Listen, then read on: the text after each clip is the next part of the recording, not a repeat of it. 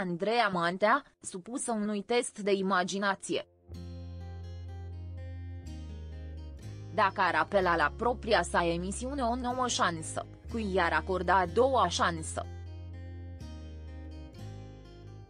Există greșeli peste care un om nu poate trece. Andreea Mantea a mărturisit că oamenii care i-au greșit ei nu pot fi iertați și nu crede în a doua șansă. Andreea Mantea a fost invitată în emisiunea 40 de întrebări cu Denise Rifai și și-a deschis sufletul. Vedeta de televiziune a făcut mărturisiri emoționante.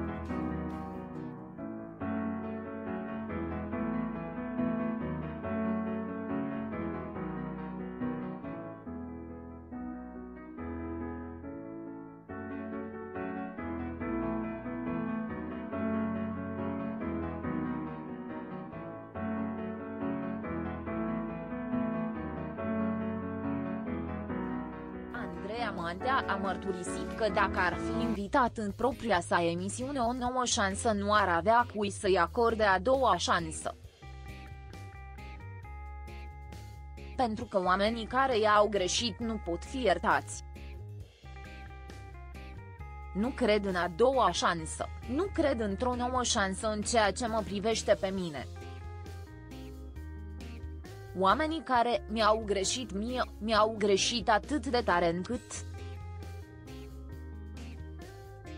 Am spus-o și în cadrul emisiunii mele, există greșeli peste care un om nu mai poate trece.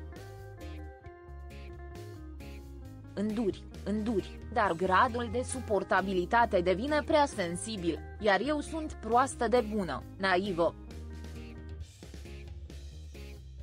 credule și poate că mulți din telespectatori se regăsesc.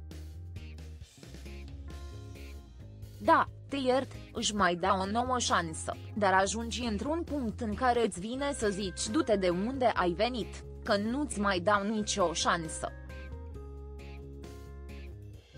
În acest moment nu am oameni cărora să le iert greșelile și nici oameni cărora să le cer iertare. Dacă am făcut greșeli mi le-am îndreptat și în fiecare zi încerc să nu greșesc.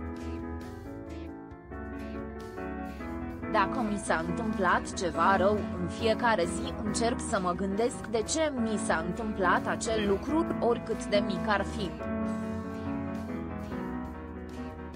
Încerc să mă gândesc cui i-am greșit de mi s-a întâmplat asta și dau timpul înapoi, am făcut vreun rău.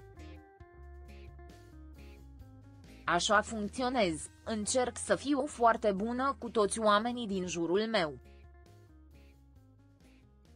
Doar îi aștept pe oameni să vină la emisiune.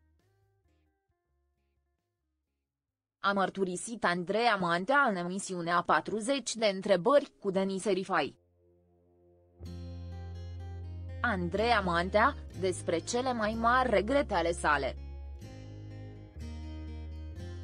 Îndrăgita prezentatoare Andreea Mantea a recunoscut că a făcut de-a lungul timpului greșeli pe care le regretă. Una dintre acestea a fost făcută în 2013, după o despărțire extrem de mediatizată de Ștefan Stan. La scurt timp după despărțire, a avut o relație de trei luni cu Gabi Bădălău ca să-l facă gelos, i-a trimis o fotografie cu Ștefan Stan la care a atașat mesajul, Ștefan te salută.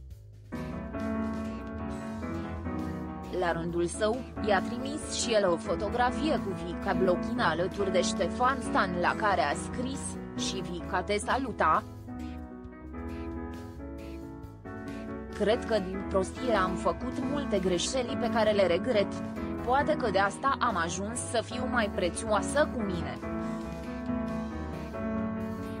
În momentul în care ajungi din singurătate, plictiseală, prostie să faci astfel de greșeli, să te lipești de astfel de oameni, cred că e mai gravă ca aia cu puzatul în Playboy.